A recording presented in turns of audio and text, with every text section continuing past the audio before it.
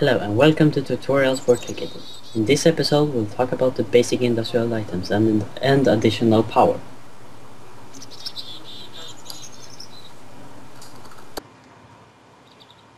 Okay. We place some iron ore in this macerator here. This makes it into dust, which we, then we can use in the electric furnace. Just wait for this to macerate.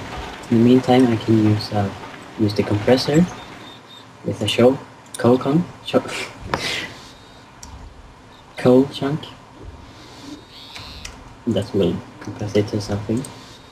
And here we have an extractor.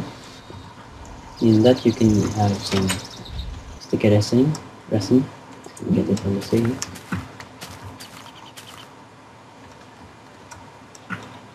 Place it in here. Now the dust is done. We'll go place it in the electric furnace. And it will make it into iron. So one coal chunk makes, makes one diamond.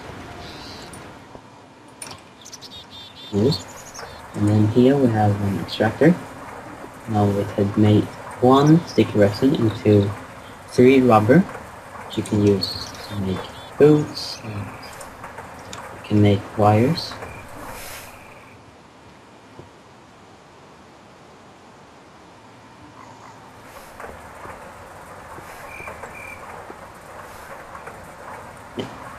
This is the generator. In this one you can place coal and it will make some some weird no noises and it will generate yeah, make some power for this bat box here. It's below it. You have to place the bat box in a certain way for it to give out some electri electricity to these things here. And if we go and look at these things, we have some solar panels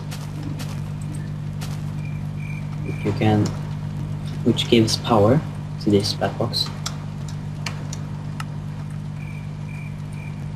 as you can see uh, of eight of these you can make a low low powered uh, solar panel and that's pretty much uh, for this episode see you next time